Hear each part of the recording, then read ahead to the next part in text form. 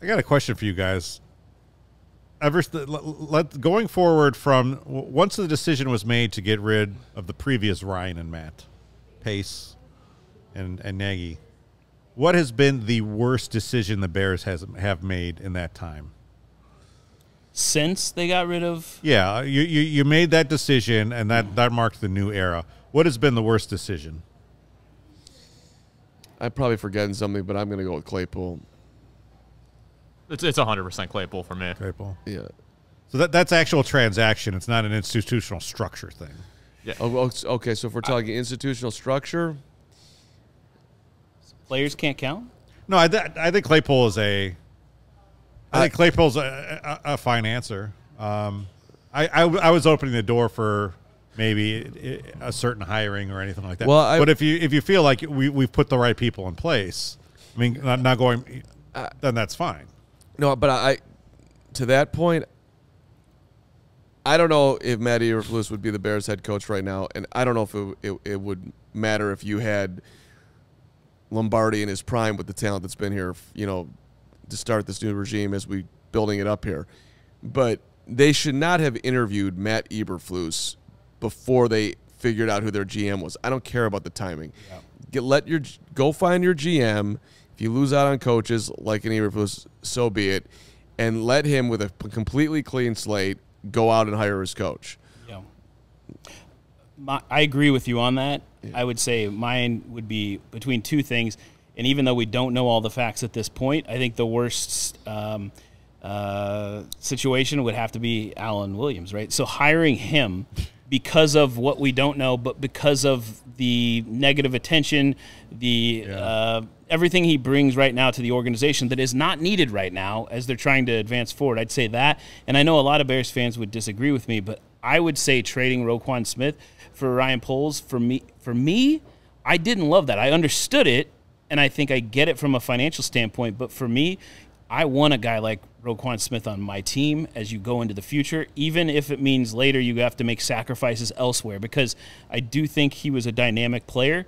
Um, I I I really wish he was still here, but I understand why. Mm-hmm. And maybe in the end it won't matter. But I did not like that. I don't. I didn't love the Claypool trade, but that one was. I got what he was trying to do, and I like him being aggressive to try to do it it may not work out in the end, but it's still there's still TBD on that too. It's not looking great, but he's right. showing flashes, so we'll see. Gary Gary touches on what my answer is going to be, and it's just not hiring an offensive coach. It's not hiring mm. Matt mm. Matt Eberflus. It's it's okay. You've got Justin Fields. Yeah. Let, let's get a guy in here who says, "I love Justin Fields. I have a vision for Justin Fields. This is where we're going to go with Justin Fields." That's right. what you needed to do, and then you bring in a defensive coach, and you know, obviously, I thought you know some of this. Oh, they've lost twelve in a row. I think is a bit disingenuous because last year's team was built to lose. So this is right. not really it. It is a twelve game losing streak, but it's not. You know, so bringing a defensive coach, guys in a four three. It's predicated on on the three tech, and then you don't give them a three tech. Sure. So to me, that's the biggest thing. And Nate Stevens says not drafting Jalen Carter. I mean that that that fits right there. It's a great underlining.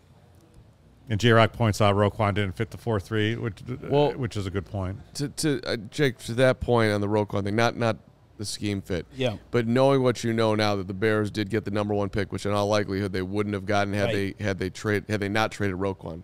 Would you make the trade knowing that, like using using hindsight?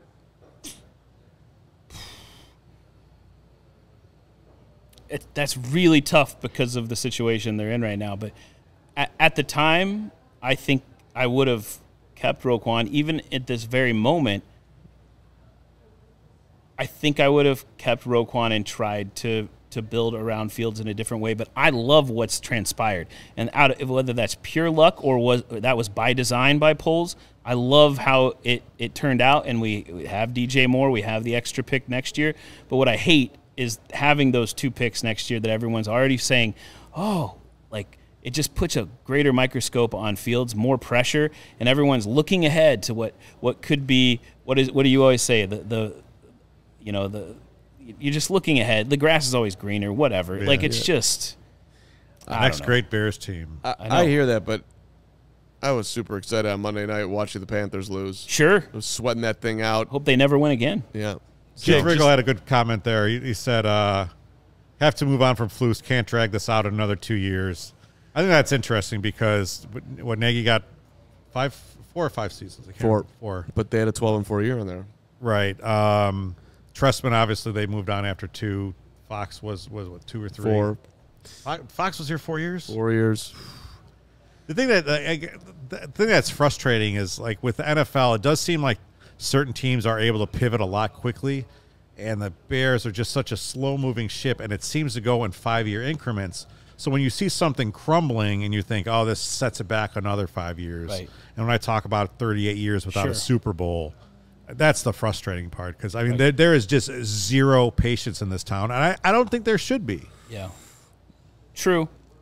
And and I also now thinking back to what we just talked about with Roquan, and then I'll move forward. But you know, he played a part in that as well, right? So he put Poles in a bad situation because there wasn't an agent and it was a complete mess. So maybe Poles did want to bring him back and it just didn't work out. So I don't I don't have any ill will towards how that situation was handled. I just personally wish he was still here. Um, but it's it's okay. That's what I'm talking about, though. You can't you can't keep looking at it and being like, well, if it would have happened like this and it could have happened like this, and Braxton Jones didn't get put on the IR, and if Alan Williams didn't have this issue, and you know, if the Bears, you know, defense would have stopped it like I just did. franchise. I- exactly. Every team has this. They just have to roll through it, and it, it, one day we won't have to keep saying this. That you know, if it coulda, woulda, shoulda, like it will be like they did it. They came, they saw, they conquered, they were together, and they were the best team in the NFL, and they are your Super Bowl champion.